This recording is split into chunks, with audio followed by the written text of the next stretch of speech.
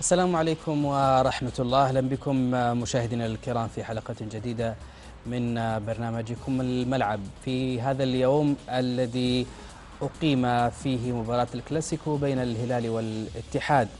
المباراة التي انتهت في هذا اليوم بالتعادل كما انتهت في الموسم الماضي في الذهاب والإياب. بتعادل ولكن ربما اليوم حضرت الإثارة على عكس المباريات الموسم الماضي. أتحدث عن مباريات الدوري. البداية مع العناوين. الأمير نواف يعتذر عن حضور اعتزال الدعيع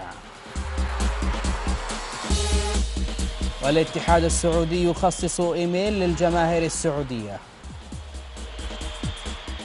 الكلاسيكو ينتهي بالتعادل والهلال يقترب من المتصدر. نور الاتحاد سيعود في الدور الثاني وموضوع رحيلي منتهي. حسن العتيبي حارس الهلال. الهلال ما يعرف يدافع.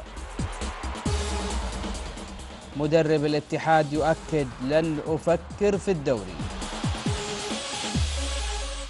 ومدرب الهلال ينفعل من سؤال ويعتبره تدخل في عمله.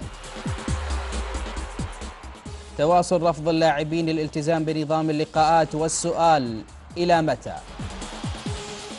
الجابر لن نعمل بطريقة ما يطلبه المشاهدون ودول سيبقى. ويؤكد لست جاهزا للتدريب ولن أدرب في السعودية.